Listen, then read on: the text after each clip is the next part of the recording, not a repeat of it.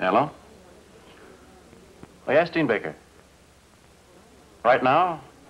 I'm pretty busy. What at your house? All right. I'll be right over.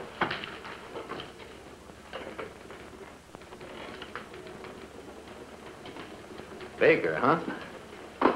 Now comes the moment of truth. Now your saintly old father confessor lets you know he's about to chop your head off. I'll handle this. Just two buddy-buddy idealists sitting down together. No need for us crass politicians. All right? But when you blow this, let me know. I got one or two angles of my own.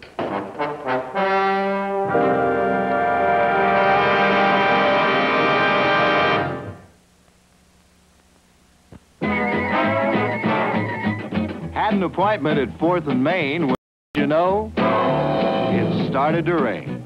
Made the awning at a bakery shop, took one look, said, rain don't stop. Even all wet, this girl looked great. I said, a cigarette while we wait?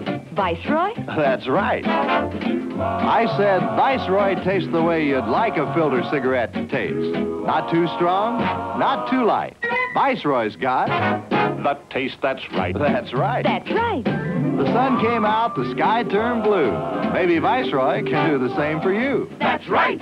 Now you know, and you can take all bets. If you smoke all seven filter cigarettes, you'll find some too strong, some too light. But Viceroy's got the deep weave filter. And the taste that's right. Not too strong, not too light. Viceroy's got the taste that's right.